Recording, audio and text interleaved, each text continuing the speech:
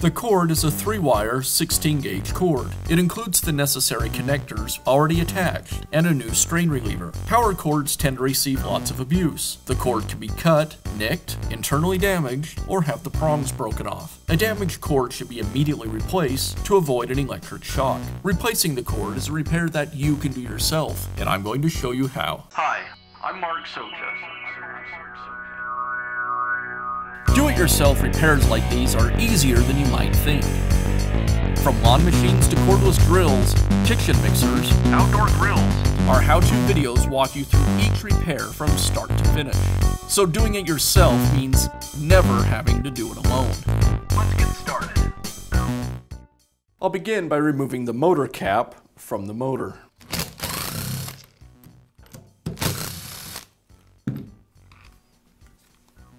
I'll also remove the wires from the switch.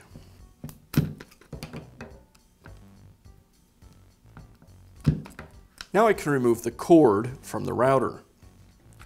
First, I'll remove the grounding wire.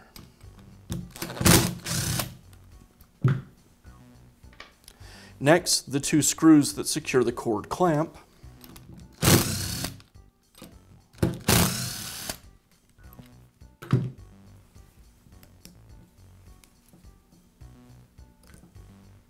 And now I need to cut away the connector that secures the white cord wire to one of the red motor wires. As I cut this crimping connector away, I want to lose as little of the wire length as I can, so I'll cut within the connector itself. There's a Ziploc tie that secures the wires. I'll cut that away.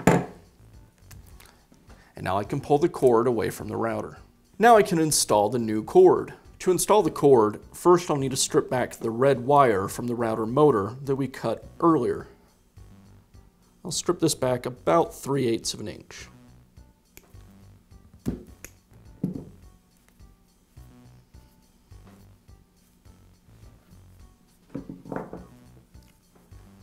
Now I'll thread the black wire from the cord behind this metal brace.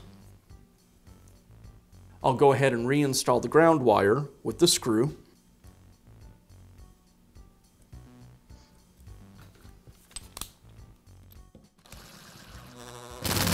And I'll bring the white cord wire together with the red wire from the motor.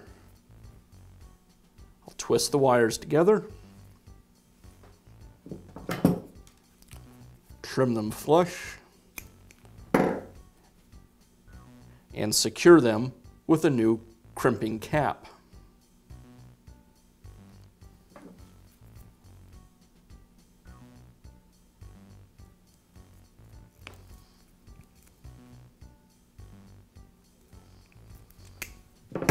Now place the strain reliever in the hollow within the casting and reinstall the cord clamp.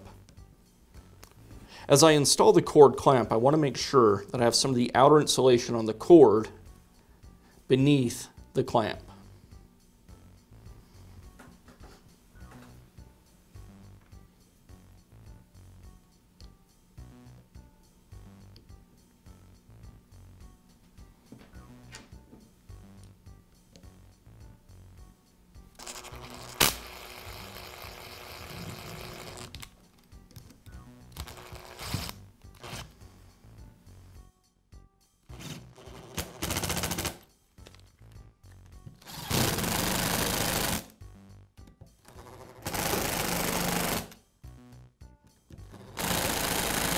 I have a new cable tie that I'll use to secure the black and red wires to the metal post.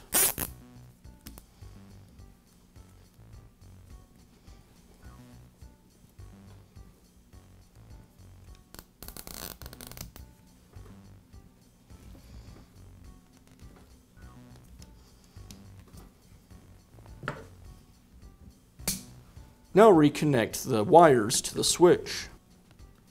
First the black wire, and then the red.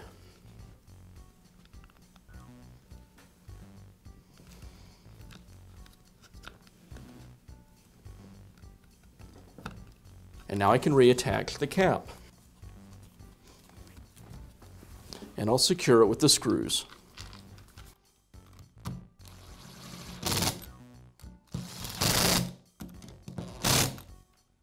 And that's how easy it is to install a new cord in your power tool. Be sure to check back often for new videos and expert advice. If you found this video helpful, give us a thumbs up. And leave a comment.